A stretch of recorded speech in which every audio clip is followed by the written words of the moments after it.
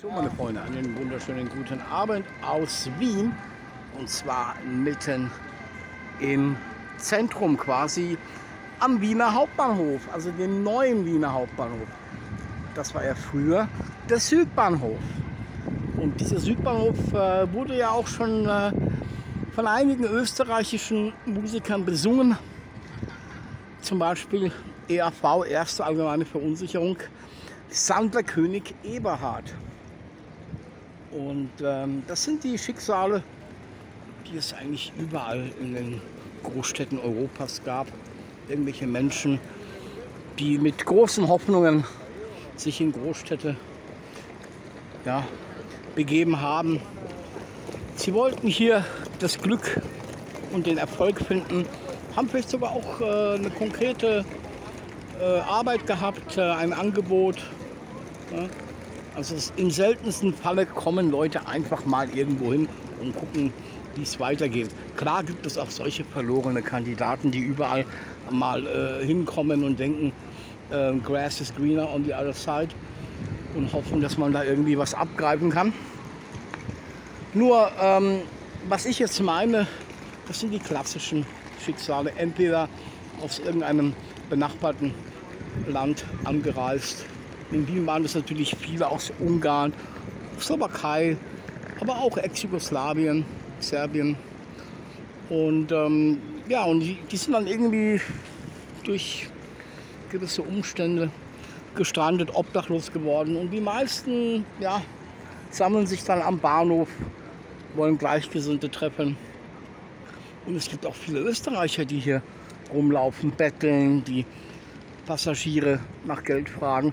Das ist halt, ähm, hier ist viel Fluktuation. Ne, hier gehst du niemandem auf den Sack, wenn du irgendwo in einem, sagen wir mal, äh, Stadtteil bist. Da ist äh, die Wahrscheinlichkeit, äh, die gleichen Leute zu treffen, natürlich hoch.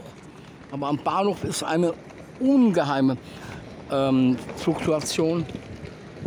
Da kommen die Leute im Minutentakt auf irgendwelchen Zügen oder die gehen zu Zügen, kommen an oder wollen wohin. Und äh, da ist natürlich der Gedanke von diesen Leuten, ja, man hat da viel mehr Möglichkeiten. Es kommen ja ständig neue Leute, es gibt da Nachschub.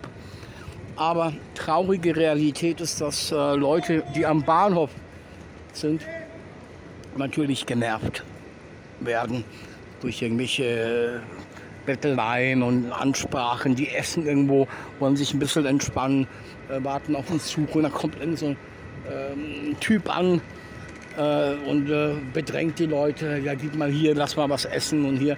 Ja, und meistens ist das dann halt auch so, dass äh, in Bahnhöfen immer mehr Securities, Bahnhofssicherheit wird groß geschrieben. Ja, den äh, Bettlern das äh, ja, Betteln vereiteln. Es werden ganz schnell Betretungs- und Hausverbote ausgesprochen. Ja, da könnte man stundenlang darüber reden. Nur äh, gibt es hier auch gewisse Gestalten aus Wien, die, ähm, wenn sie kein Geld mehr haben, beziehungsweise das ganze Geld schon früh am Anfang verdankt und versoffen haben, ja, die kommen dann auch an gewisse Bahnhöfe und betteln dann Passagiere an. Ja, die sind ausgestattet mit Oberschoppeln. Na, man kann ja immer wo was abgreifen und was bekommen. Das ist genau der Hintergrund. Und ja, solche Typen gibt es natürlich hier auch.